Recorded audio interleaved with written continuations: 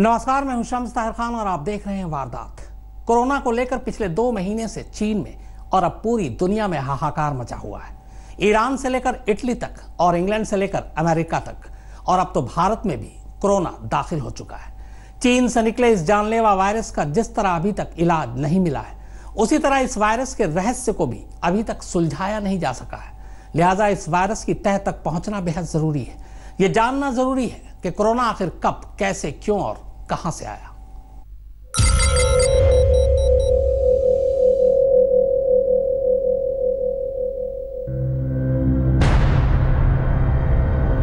चीन की Wuhan lab में इबोला, निपाह सॉर्स और दूसरे घातक वायरसों पर रिसर्च कर रहे वैज्ञानिक अपने माइक्रोस्कोप में एक अजीब सा वायरस देखते हैं। मेडिकल हिस्ट्री में ऐसा वायरस पहले कभी नहीं देखा गया था। इसके जेनेटिक सीक्वेंस को गौर से देखने पर पता चल रहा था कि ये चमगादड़ के करीबी हो सकते हैं। वैज्ञानिक हैरान थे, क्योंकि इस वायरस में वो सार्स वायरस के साथ समानता को देख पा रहे थे, जिसने 2002 और 2003 में चीन में महामारी ला दी थी, और दुनिया भर में 700 से ज़्यादा लोग मारे गए थे। उस वक्त भी ये बताया गया था कि सौर छूने और संक्रमित व्यक्ति के छींकने या खांसने से फैलता है, लेकिन तब चीन इस वायरस को छुपा ले गया था।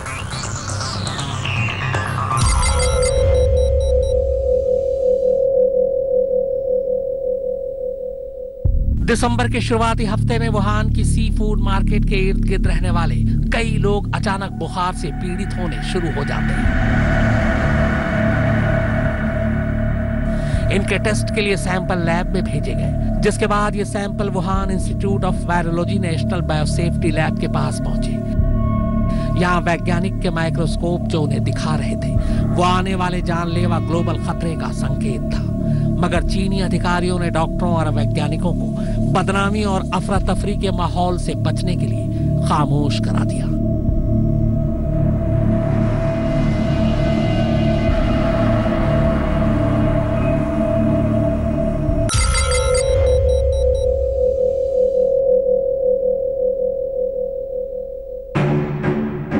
डॉक्टर ली वेलियांग के अस्पताल में स्थानीय सी फ़ूड मार्केट से करीब सात मरीज़ पहुँचे।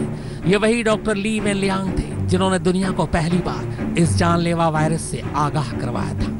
बहरहाल, इन मरीजों के लक्षण देखकर ही डॉक्टर ली को समझ में आ गया था कि ये सभी के सभी किसी अनजान घातक वायरस के शिकार हो गए उन्होंने फ़ौरन इस बीमारी के बारे में दूसरे डॉक्टरों को अलर्ट किया और इस वायरस के बारे में अपनी रिपोर्ट दी इतना ही नहीं, इस बारे में उन्होंने वीचैट ऐप पर अपने मेडिकल कॉलेज के एलमनी ग्रुप में भी जानकारी दी और सबको अपने जानकारों, दोस्तों और रिश्तेदारों को इस बारे में आगाह करने को कहा। लेकिन कुछ ही घंटों में उनके मैसेज का स्क्रीनशॉट वायरल हो गया। इसके बाद चीन ने डॉक्टर ली के साथ क्या किया, यह हम आपको आगे बताएँगे।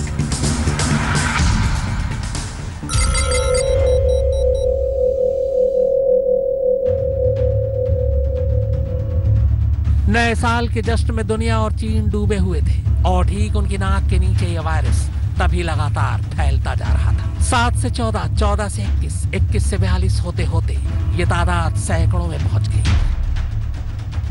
मगर चीन इस पर रोकथाम की बजाय इस जानलेवा बीमारी को दुनिया से छुपाने में ही लगा रहा।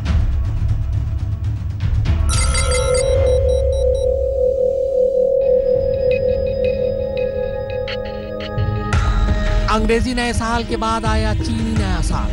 अफरा तफरी से बचने के लिए चीन ने इस जानलेवा वायरस की खबर को सामने तो नहीं आने दिया। मगर अंदर ही अंदर वुहान के Institute of Virology National Biosafety Lab में इसकी जाँच चलने लगी। जो भी इस लैब में पिछले कई सालों में चमगादड़ों से फैलने वाली बीमारियों पर रिसर्च चल रही थी। ये रिसर्च इसलिए थी क्योंकि न सिर्फ़ वुहान और आसपास के इलाकों में चमगादड़ों की तादाद ज़्यादा है बल्कि यहाँ चमगादड़ों और दूसरे तमाम जानवरों के मांस खाने और सूप पीने का चलन भी जोरों पर है।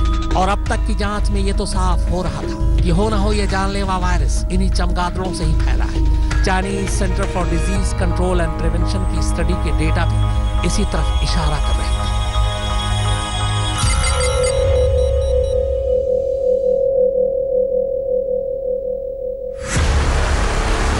डॉक्टर ली वेलियांग इस बीच लगातार अपने डॉक्टर साथी और लोगों को इस जानलेवा वायरस से न सिर्फ़ आगाह कर रहे थे, बल्कि पीड़ितों को आइसोलेशन वार्ड में रखकर अपने तौर पर इलाज भी कर रहे थे। इसी बीच ये खबरें चीन से निकलकर दुनिया तक पहुंचनी शुरू हो गई। चीन ने भी अब आखिरकार मान लिया कि उसके मुल्क को कोरोना नाम की एक महामारी ने जकड़ लिया है।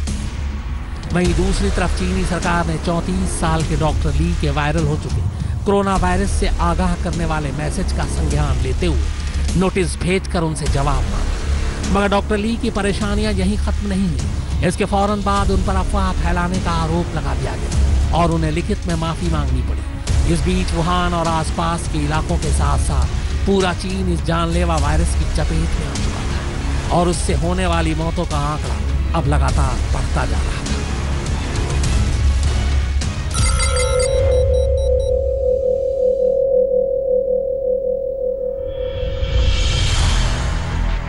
अचानक खबर आई कि कोरोना वायरस के बारे में सबसे पहले जानकारी देने वाले डॉक्टर ली की मौत हो गई है। बताया गया कि डॉक्टर ली 12 जनवरी से अस्पताल में भर्ती थे और 30 जनवरी को पता चला कि वो कोरोना वायरस की चपेट में आ चुके हैं। चीन ने कहा कि उन्हें बचाने की भरपूर कोशिश की गई, लेकिन बचाया नहीं जा सका। वुहान सेंट्रल हॉस्पिटल ने अपनी रिपोर्ट में कहा कि डॉक्टर ली की मौत सात फरवरी की रात करीब दो बजकर अट्ठावन मिनट पर हुई। बताया गया कि उन्हें कफ और बुखार था। हालाँकि सरकार विरोधी गुटों का यह मानना था कि चीन ने उन्हें इस महामारी का खुलासा करने की सजा दी है। यह खबर इसलिए भी हावी हुई क्योंकि शुरुआत में चीन के बीस हज़ार कोरोना पीड़ितों को मार देने के लिए सुप्रीम पीपुल्स कोर्ट में अर्जी देने की भी खबर आई थी। मगर ये दोनों ही खबरें कंफर्म नहीं हो सकी। लेकिन चीन में जो कंफर्म हुआ, वो था दुनिया में अब तक का सबसे जानलेवा वायरस के सामने आने का सच। जो अब तक देखते ही देखते हज़ारों लोगों को अपनी चपेट में लेकर बेमौत मार मुनीश देवगन के साथ फारूक हैदर, आज तक। डॉक्टर ली वैनलियांग, जिन्होंने दुनिया को सबसे पहले कोरोना वायरस से आगाह किया था, खुद उनकी मौत हो चुकी है। ये मौत कोरोना वायरस से हुई, या फिर चीन की सरकार ने उन्हें यह राज दुनिया के सामने फाश करने की सजा दी। यह फ़िलहाल सवाल बना हुआ है। सवाल यह भी बना हुआ है कि कोरोना चमगादड़ से फैला या चीन की लैब से? खुद चीनी वैज्ञानिक इस बात का दावा कर रहे हैं कि जानलेवा वायरस किसी जानवर से नहीं बल्कि चीन की लापरवाही से फैला है।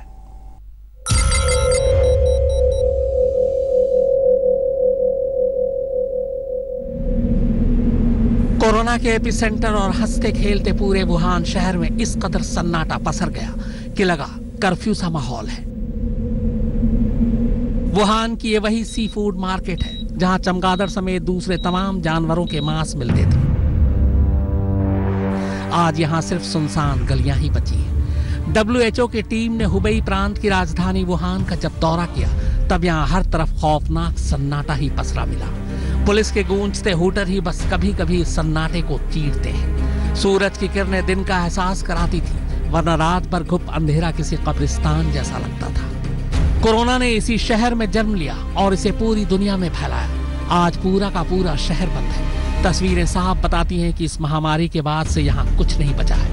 सड़कें वीरान है, दफ्तर खाली पड़े हैं, लोग घरों में घुसे हैं। इक्का दुक्का लोग सड़क पर नज़र भी आते हैं तो चेहरे पर मास्क लगाए। शहर की ऊँची ऊँची इमारतें भी खाली पड़ी हैं। ज़्यादातर लोग तो इस शहर से पलायन ही कर चुके हैं। फ़िलहाल चीन का ये बड़ा शहर लगभग वीरान हो चुका है। अब तक कोरोना वायरस से वुहान में करीब 300 से ज़्यादा मौत हो चुकी है और पचास हज़ार से ज़्यादा कंफर्म केस भी सामने आ चुके हैं।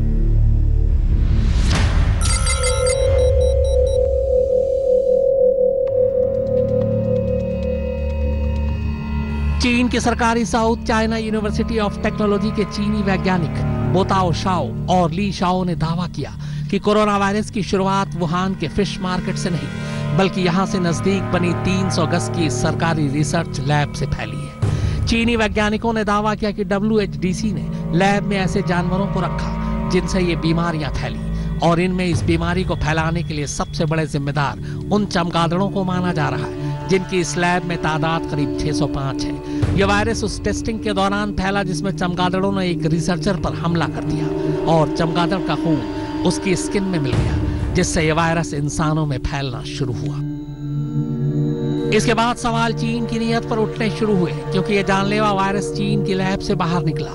यह भी हो सकता है कि वुहान इंस्टीट्यूट ऑफ़ वायरोलॉजी ने वायरस लीक किया हो। ऐसी खबरें पहले भी सामने आ चुकी हैं। लिहाजा भयानक रूप ले चुके इस कोरोना वायरस से निपटने से ज़्यादा चीन अब इस वायरस के लैब से लीक होने की खबर को दबाने में युद्ध स्तर पर काम करने लगा।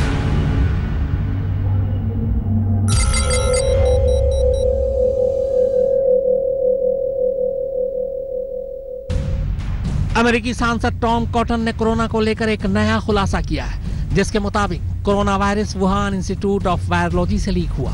जो इंसानों द्वारा तैयार किया गया कोई जैविक हथियार भी हो सकता है, जिसे चीन लैब में तैयार कर रहा था, जो बाहर आ गया। और अब चीन जिस तरह कोरोना को लेकर पर्दादारी कर रहा है, उससे मुझे अपनी बातों पर पूरा यकीन है। मैं चुनौती देता हूँ कि चीन चाहे तो ये साबित करके दिखाए कि कोरोना उसके लैब से नहीं, बल्कि वुहान के फ़िश मार्केट से ही दुनिया में आया।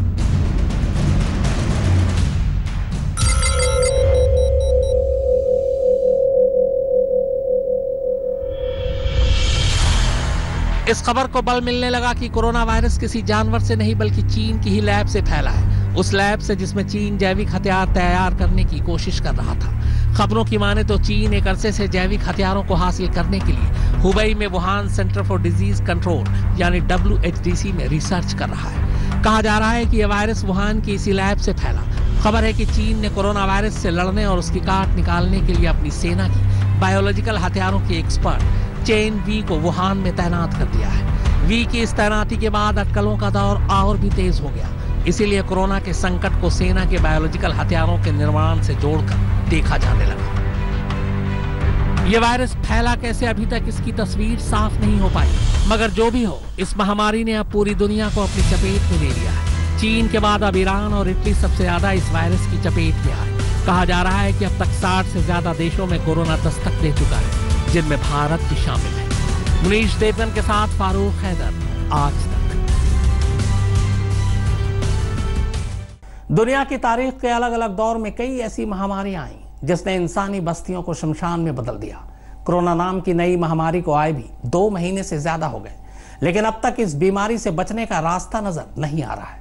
चीन में कई हज़ार लोग इस बीमारी की चपेट में आकर दम तोड़ चुके हैं।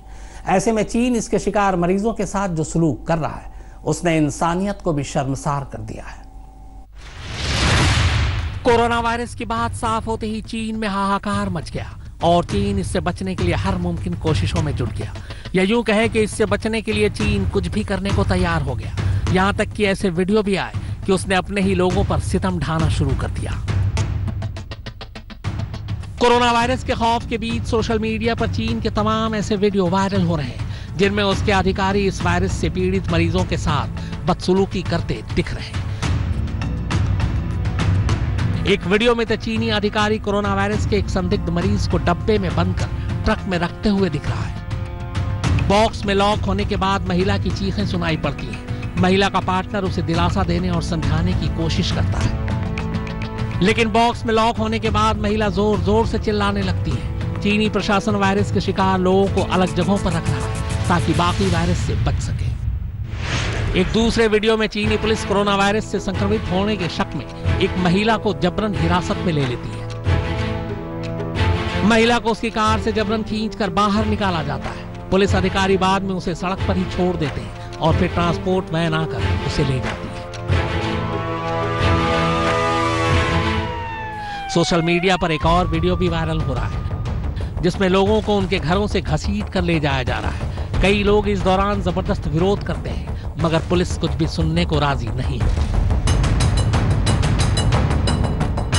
इन लीक वीडियो से कुछ लोग इस नतीजे पर पहुँचने लगे हैं कि चीनी अधिकारी कोरोना वायरस के असर को दुनिया से छुपाने की कोशिश कर रहे हैं और वायरस को फैलने से रोकने के लिए बेहद कड़े कदम उठा रहे हैं।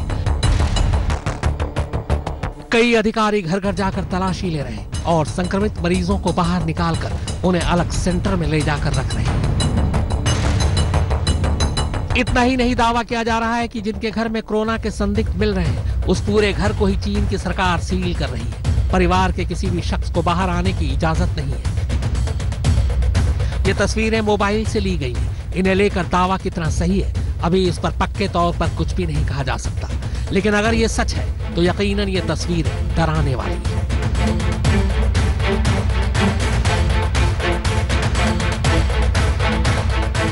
मुनीश देवगन के साथ फारूक हैदर, आज नमस्कार, मैं हूँ अंजना ओम कश्यप हमें उम्मीद है ये वीडियो आपको पसंद आया होगा।